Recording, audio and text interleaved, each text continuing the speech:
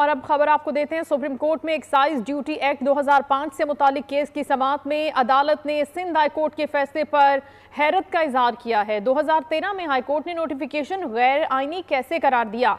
Chief justice ने इस्तफसार किया। Sindh high court ने तो सुप्रीम कोर्ट के फैसले को नजरअंदाज कर दिया है। ये इंतहाई इंतहाई नामाकूल दरखास्त है। चीफ जस्टिस काजी फाइज ईसा ने समात के दौरान ये रिमार्क्स दिए हैं। एक्साइज ड्यूटी एक्ट 2005 से मुतालिक केस की समात सुप्रीम कोर्ट में आज हुई और अदालत ने सिंध हाईकोर्ट के फैसले पर हैरत का इजहार करते हुए ये सवाल किया कि 2013 में हाई कोर्ट ने नोटिफिकेशन गैर आईनी कैसे करार दिया? सिंध हाई कोर्ट ने तो सुप्रीम कोर्ट का फैसला भी नजरअंदाज कर दिया। चीफ जस्टिस की जानब से रिमार्क दिए गए। तैयब बलोच से हम डिटेल जानेंगे समात के बारे में। जी, तैयब।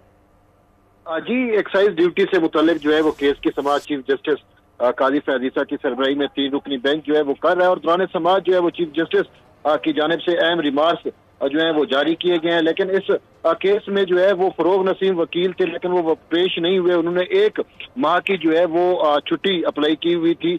कि सेहत जो है वो दुरुस्त नहीं है तो इस वजह से चीफ जस्टिस ने कहा कि ये देख लें, ये फरोग नसीम सीनियर वकील है, क्या उनका रवैया जो है, वो इस तरीके से होता है? इसके साथ साथ चीफ जस्टिस ने जो है, वो सिंध हाई कोर्ट के फैसले पर बड़ी हैरत का इजहार किया। चीफ जस्टिस का कहना था कि supreme court excise duty act 2005 की सेक्शन तीन ए को 2011 में दुरुस्त करार दे दिया गया था। 2013 में सिंध हाई कोर्ट ने इसी नोटिफिकेशन को गैर ऐनी कैसे करार दे दिया? हाई कोर्ट सुप्रीम कोर्ट का फैसला कैसे कलदम करार दे सकती है? चीफ जस्टिस का ये भी कहना था कि सिंध हाई कोर्ट ने सुप्रीम कोर्ट के फैसले को ही नजरअंदाज कर दिया। दौरान समाज चीफ जस्टिस का जो है वो एडवोकेट खालिद जवेद के साथ भी मुकालमा हुआ। इसके साथ साथ चीफ जस्टिस ने जो है वो वाजे तौर के ऊपर जो है वो सीनियर वकील फरोग नसीम के रवैये के ऊपर जो है वो खुशगवार नाखुशगवारी का इजहार करते हुए कहा कि मुझे समझ नहीं आती कि सीनियर वकील ने ऐसा क्यों किया। इसके तहत जो है वो सदर मुमलिकत की मंजूरी के बगैर जो है सेक्शन तीन का जो है नोटिफिकेशन जारी किया गया था। सदर मुमलिकत की मंजूरी के बगैर नोटिफिकेशन के इजरा को सिंध और लाहौर हाई कोर्ट में चैलेंज किया गया था।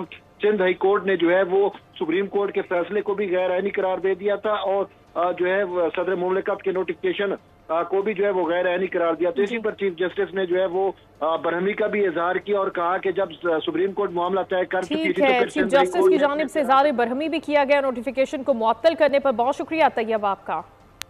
कमसन घरेलू मुलाजमा रिजवाना तशद केस सिविल जज को